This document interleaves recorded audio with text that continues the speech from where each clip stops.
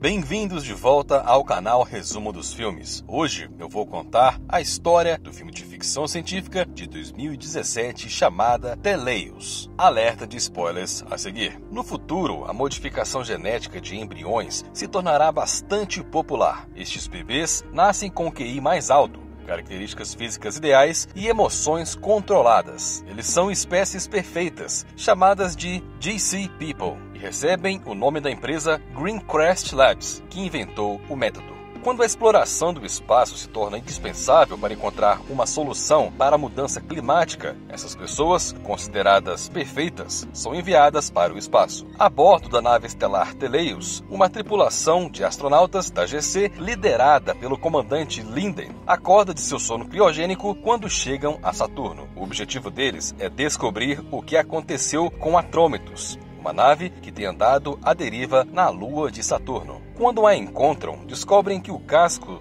de Atrômetos vai se romper e, como ela é muito maior que a Teleios, eles têm que usar todos os propulsores simultaneamente para alinhar as duas. A atracagem é um sucesso, mas quando Zimmer e Anderson tentam comemorar, o Dr. Orson os repreende por se tocarem, o que confunde os biosinais da GC. Depois disso, eles se comunicam com o CEO da GC Labs, Nordham, para informá-lo que acessaram o sistema de atrômetros e sua última transmissão foi há três meses e agora ninguém responde. Assim que eles assumem que toda a tripulação está morta. Eles não veem o objetivo de uma missão de resgate, então Nordham explica que eles precisam recuperar a carga. Levou dois anos para minerar este catalisador fixador de carbono, que irá reparar a atmosfera terrestre. Então Duncan tem acesso aos registros de atrômetros, onde o capitão explica que eles estão finalmente prontos para ir. Eles só precisam esperar que a quarentena da tripulação termine. Em outro diário de bordo, o capitão comenta que a situação está piorando a cada segundo e que é altamente provável que ocorra um motim violento. Isso faz Orson reclamar que os GCs perfeitos como eles sempre têm que consertar as coisas depois das confusões deixadas pelos humanos comuns. De repente, eles ouvem um barulho estranho vindo de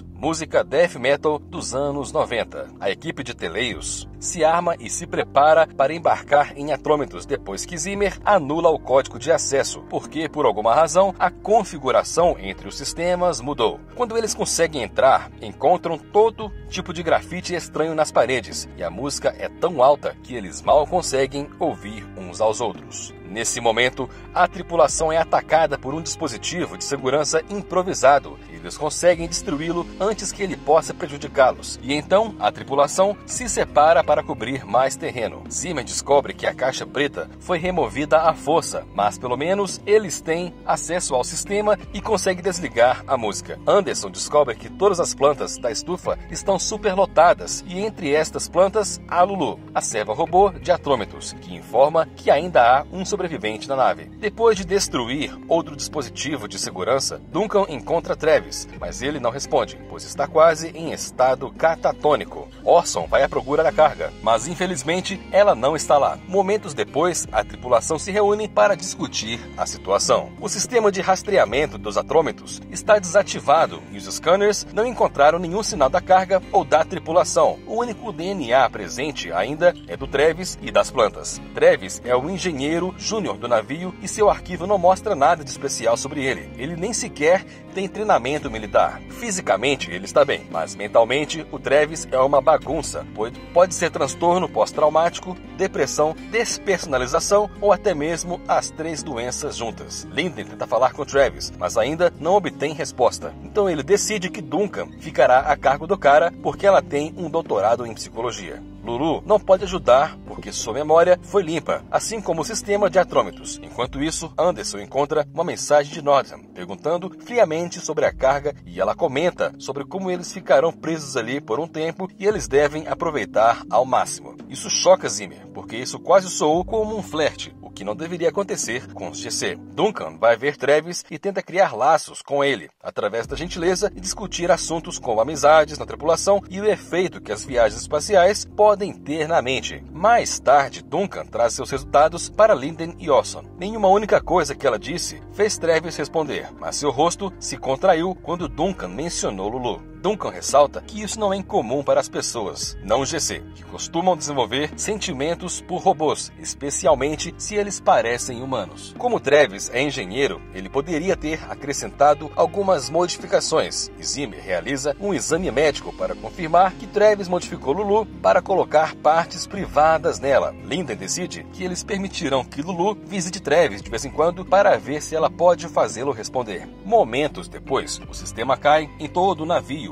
e eles descobrem que Travis escapou e provavelmente está armado porque uma espingarda está faltando. Duncan vai procurá-lo e acaba na mira da arma de Travis. Então ela tenta fazê-lo falar com ela usando a gentileza novamente. Quando ela está prestes a fazê-lo reagir, Linden os interrompe e faz Travis baixar o fuzil através de ameaças. Depois de trancarem Travis novamente, Duncan argumenta com Linden por não confiar em seus métodos, mas Linden apenas a lembra da missão. Enquanto isso, Anderson, estranhamente, diz a Zimmer que ela acha as luzes de emergência relaxantes. Zimmer decide acessar os arquivos de entretenimento dos atrômetos, descobrindo que eles gostavam de assistir às lutas violentas de robôs. Ele acha que isso é natural, porque os humanos imperfeitos anseiam por violência, mas Anderson acha isso nojento. Em seguida, ela comenta como a sala está quente, sem um sistema de resfriamento e retira sua jaqueta, o que faz Zimmer se sentir envergonhado. Segundos depois, Zimmer faz o sistema funcionar novamente e eles recebem outra mensagem de Nordham, lembrando-os de pegar a carga e que todo o resto é secundário. Duncan estuda os grafites na parede antes de se aproximar novamente de Travis. Desta vez, ela fala gentilmente sobre suas artes antes de deixá-lo sozinho com Lulu. Então Duncan entra na sala ao lado para espioná-los através de uma câmera escondida e ela ouve Travis sussurrar coisas para Lulu em mandarim antes de beijá-la. Depois Duncan vai à procura de Orson e o encontra vagando em um corredor porque esqueceu o que veio fazer. O que é estranho porque ele nunca esquece nada. Zimmer sabe mandarim, então Duncan toca a gravação das palavras de Travis. Zimmer pode distinguir as palavras incapaz, crença e proximidade e se pergunta por que o perfil de Travis não dizia que ele sabe outros idiomas, mas promete que vai trabalhar na tradução da conversa completa.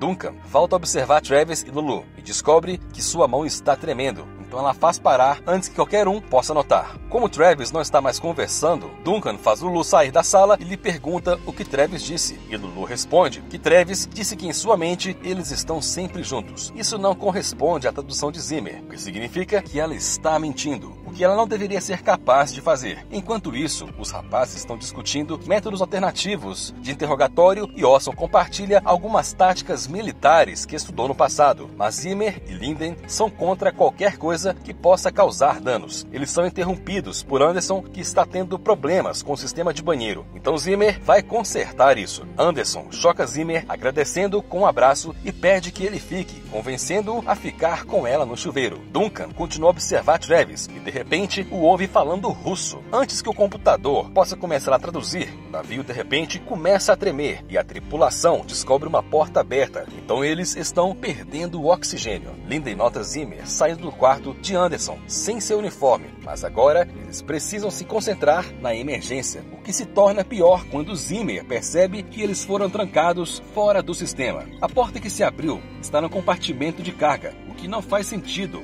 porque essa área deveria ser isolada, o que significa que deve haver uma quebra na vedação do ar. Zimmer entra no porão de carga, enquanto Linden o segura com uma corda. enquanto ele consegue fechar a porta novamente, isso ainda faz Anderson chorar, porque ela acha que seus amigos estão em perigo. Linden volta bem, mas Zimmer passou da pressão do ar. Tom Orson o leva para a enfermaria para um exame médico. Ele decide que Zimmer só precisa de algum descanso, provavelmente até ele acordar, o que o deixa confuso, porque normalmente ele é mais exato com suas palavras do que isso. Depois disso, Linden repreende Anderson pelo que ele fez com Zimmer no banheiro. Enquanto isso, Duncan pergunta a Orson se os robôs podem mentir. Então ele explica que eles podem ser programados para dar respostas incorretas a perguntas específicas, mas eles não podem inventar suas próprias respostas. Entretanto, ele não encontrou tal programação quando examinou Lulu. Então Duncan volta ao computador para traduzir as frases russas que ela ouviu anteriormente. Isso é ouvido por Anderson, que aponta que é uma citação do livro Guerra e Paz de Tolstói. Anderson também se pergunta se Travis está contemplando o significado de sua existência, o que faz com que Duncan tenha pressa em vê-lo e finalmente confrontá-lo. Depois de eletrocutá-lo, ela explica que pensa que Travis está apenas fingindo estar psicologicamente traumatizado, o que faz Travis responder em francês, o que Duncan pode entender. Travis pede que ela não repita isso a ninguém, mas apenas acrescenta outra citação da literatura. De volta a Anderson, ela consegue fazer o sistema de comunicação da nave funcionar, mas ela vê a mesma mensagem que viu antes. Nordham não está ao vivo, há uma gravação que continua chegando como uma nova mensagem a cada duas horas. Linden pede que ela envie novas mensagens criptografadas para a Terra até receberem uma resposta. Isso faz Anderson chorar, então Linden grita com ela por estar emocionada. Naquele momento, Zimmer, recém-acordado, vem vê-los e Anderson corre para abraçá-lo, fazendo Linden gritar com eles novamente. Ela acha que se Zimmer não tivesse estado com Anderson, ele poderia ter visto o erro no compartimento de carga antes que ele quase os matasse. Linden ordena a Anderson que vá ver Orson para verificar porque ela está emocionada. Então ele compartilha com Zimmer o que ele encontrou nos registros. O primeiro ano de extração foi minucioso com suas informações, mas o segundo ano tornou-se mais esparso, até que quase cessou há cerca de três meses, como se as informações tivessem sido intencionalmente censuradas. Ao invés de comentar sobre isso, Zimmer se pergunta quando Linden se tornou um idiota. Orson examina Anderson, mas ele não encontra nenhum sinal de que haja algo de errado com ela. Anderson se pergunta se Orson também se sente diferente, mas ele não quer admitir isso. A Duncan pesquisa a última citação de Travis, que se revela ser Molière.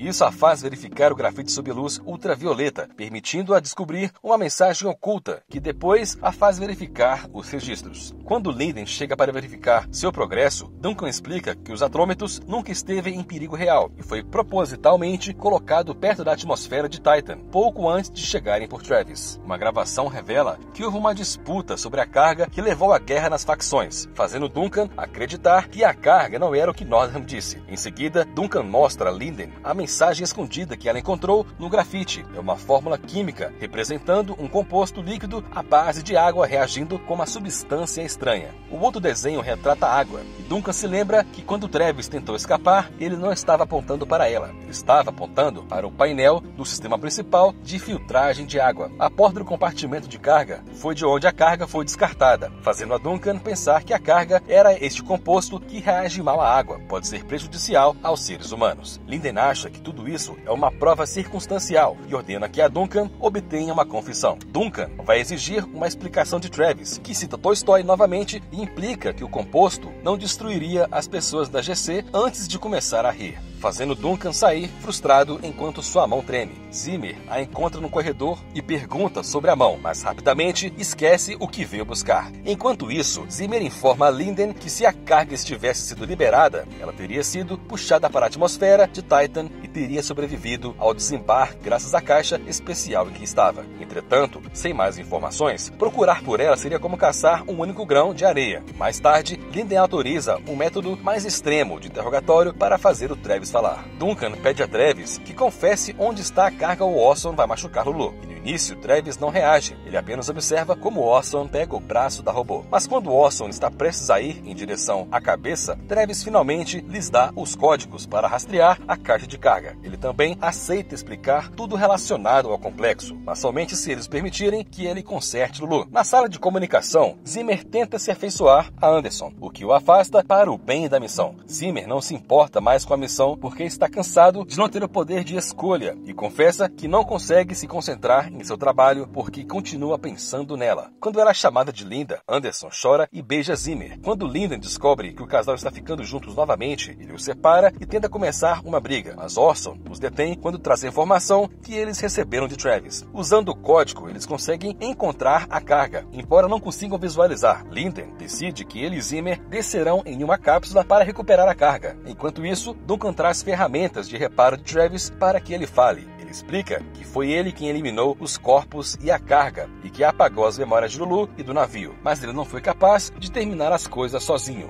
Como ele não podia esquecer todas as coisas terríveis, ele decidiu abraçar a loucura para poder contar a história em seus próprios termos, porque as nuances não podiam ser explicadas no diário de bordo de um capitão. Após a tripulação ter extraído com sucesso o composto de Titan, um pedaço microscópico na luva de alguém passou pela quarentena e entrou no abastecimento de água, tornando todas as águas letais. Eles enviaram uma mensagem à Terra para avisá-los de que o complexo não era seguro, mas Nordham apenas disse que a nave vinha com um sistema espacial de filtragem de água feito por sua empresa, que podia lidar com o complexo que significa que eles sempre souberam o que ele podia fazer. A tripulação foi dividida em duas equipes, mas aqueles que não queriam trazer o complexo de volta à Terra foram mortos por aqueles que queriam obedecer ao Nordion. Travis sobreviveu ficando longe do conflito e o time vencedor foi morto um a um pelas sombras. A GC Labs quer que o complexo mate humanos comuns e use seu sangue para consertar as pessoas da GC. Após a saída de Duncan para contar aos outros, Travis começa a consertar Lulu. Enquanto isso, Anderson Anderson encontra uma mensagem de Nordham, dizendo que esta será sua última mensagem. Nordham sabe que a tripulação provavelmente já está sentindo sintomas de emoções indesejadas e explica que o DNA de cada pessoa da GC tem um código de rastreamento que deveria ser inerte, mas está mutante e causando problemas neurológicos irreversíveis. A Terra está queimando e humanos regulares estão sendo caçados, como Travis disse, e a tripulação tem apenas algumas horas antes que eles enlouqueçam completamente. Orson, Anderson e Duncan se reúnem para discutir o assunto, e Orson aponta que o sangue de Travis poderia consertar todos eles. Isso também o mataria. Assim, Duncan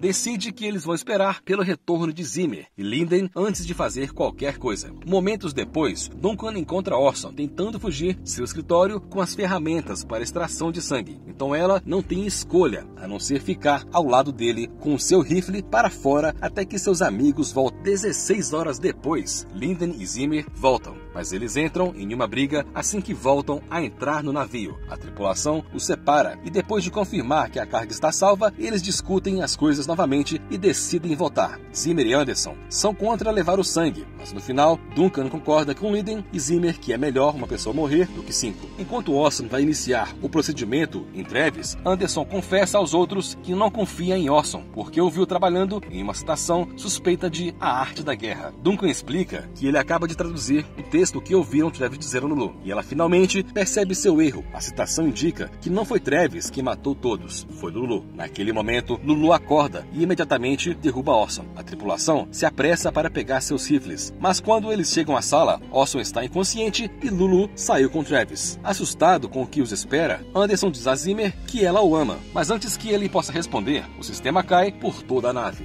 Zimmer se vira para verificar o que está acontecendo, mas um barulho de batida o faz olhar novamente e descobrir que Anderson foi morto enquanto eles estavam distraídos com o alarme. Zimmer está tão furioso que ignora os avisos de Duncan e vai à procura de seu inimigo sozinho. Eventualmente, ele encontra Lulu no compartimento de carga, e como ela está em modo de combate agora, ela é melhor que uma pessoa da GC. Zimmer consegue aterrizar um ou dois golpes nela, mas Lulu ainda domina e o mata. Duncan é encontrado por Travis, que imediatamente a derruba com seu rifle, mas isso dá sua posição e permite que Linden atire nele também. Quando Lulu desce aquele corredor, ela passa pelo corpo de Duncan, pensando que está inconsciente, mas tudo isso é uma armadilha. Linden mantém Travis refém para impedi-la de se mover. Então ele e Duncan atiram no sistema de iluminação da nave para fazê-la explodir acima de Lulu e eletrocutá-la até que ela se quebre. Depois disso, Linden prepara Travis para ser morto, enquanto o chama de depravado pelas modificações que ele fez no Lulu, o que Travis nega. Isso faz com que Duncan mude de ideia sobre o voto, e ao invés de atacar Travis, ela mata Linden. Então ela explica que o problema da GC teve uma taxa de sucesso de 97%, mas ela fez parte dos outros 3%, e é por isso que a mutação não afetou tanto quanto os outros. Ela deixou Travis viver porque ele disse que não modificou Lulu. Então ela quer saber por que Lulu se modificou e por que ela foi capaz de mentir. Travis diz que Lulu acrescentou as modificações para que elas estivessem mais próximas, mas ela não entende porque a programação dela mudou. A única maneira de obter respostas é consertar Lulu e para conseguir que elas a levem para a Terra. Duncan diz a Travis para levá-las a Teleios e contar a sua história a todos na Terra. Duncan vai ficar em